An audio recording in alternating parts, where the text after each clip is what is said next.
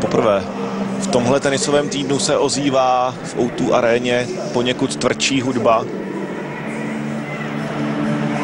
Už když byla na návštěvě v pondělí Kylie Minok, tak eh, skoro v každé přestávce po lichém gemu zněly hity téhle Australanky. Teď to jsou tedy samozřejmě chlapíci z Leitnu, kapela Iron Maiden.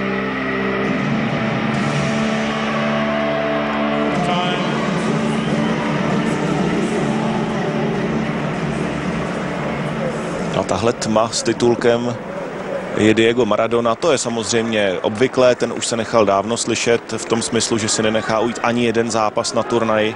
Možná proto už ho režie přeci jenom zabírá méně často než z kraje celého turnaje.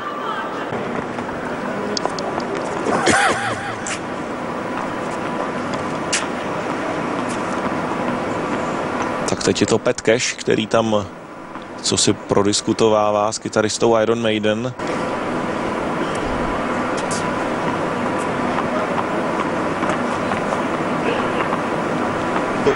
Postavit se k tomu zápasu tak, jakože